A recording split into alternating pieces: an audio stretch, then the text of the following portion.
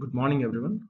Uh, so, in today's uh, video, we will see uh, how a beginner can very easily uh, get started with Splunk and understand what, what it is all about. Coming to Splunk, Splunk is a, to, a company that is founded in 2003. It's a it's a big data tool that has web browser as an interface it is a publicly traded company with over 20 billion market capitalization. So the tool is not going to go go away anytime soon.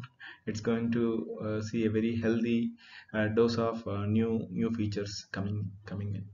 So it, it searches, monitors, and analyzes machine generated information. So earlier Splunk became very famous uh, with uh, the security logs that are created by different uh, firewalls. So that is uh, how Splunk is very famous with uh, the security uh, incident and event monitoring that is called SIEM.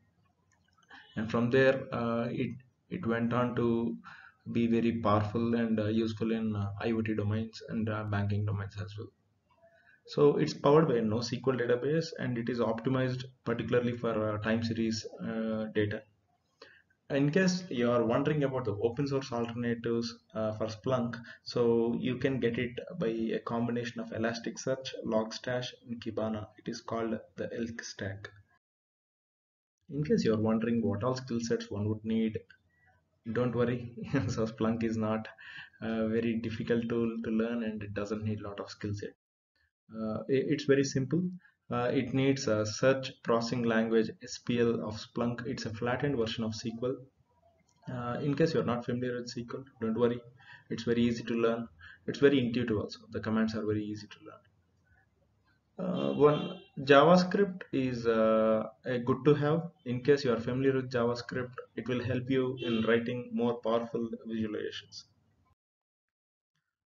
deployment options. Let's look at the deployment options that are supported by Splunk. Uh, so nowadays uh, organizations have uh, IT roadmap uh, that that includes cloud on-premise. So Splunk has you covered on, on the cloud as well as on-premise environment. So on on on-premise uh, you have two two variants again. One is the single single node uh, Splunk installation and the other one is the cluster node wherein you'll have uh, you you can just increase the capacity by adding one more node. We will we will uh, understand more about the cluster in the coming videos. So any any powerful uh, software tool uh, would need to go with uh, a, a, wide array of licensing options uh, so that it, it supports supports the developers in trying out the software effectively as well as uh, for the enterprise to try out the use case and then eventually go with the use case with the proper licensing in case uh, it, it, likes it. So Splunk offers uh, an array of uh, licensing options. Like one is the trial license trial license is of 30 days and uh, there is a developer license of 90 days uh, 180 days sorry. So the developer license can be applied and the developer license can be applied by uh, signing into a separate form. I'll, I'll try to share the form uh, at the end of the video. Uh, so there, will be an annual license and the perpetual license option. Uh, irrespective of whether uh, one takes an annual license or perpetual license they would uh, still need to pay a Splunk support fees that is separate. And please note that developer license in case taken cannot be used on the Splunk cluster mode. It would not work that way so Splunk has uh, built a very powerful uh, developer community. So the documentation is very robust. So you can go back into any any version in time and uh, then look at how the different configuration options are, uh, like admin conf, limits.conf, uh, and and so on.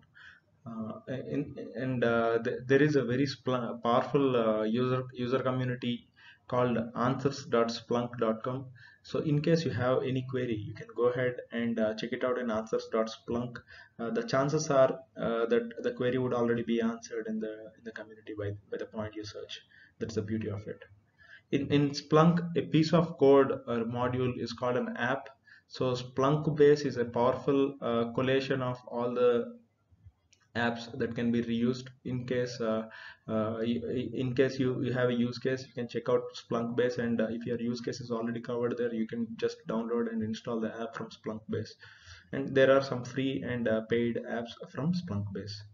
Splunk education. Splunk education uh, gives helps you in learning Splunk one uh, step by step and to attain the certification that will help aid you in your job opportunities so any any powerful tool uh, these days uh, should be extensible and uh, uh we, we should be able to use it with uh, multiple uh, languages and other platforms as well. So splunk is very has very powerful python java and javascript sdks and it also supports apis so thereby we can use it with our other tools in the organization as well. So in the next video we will see how to install splunk Uh, please share if you have any feedback and thanks for watching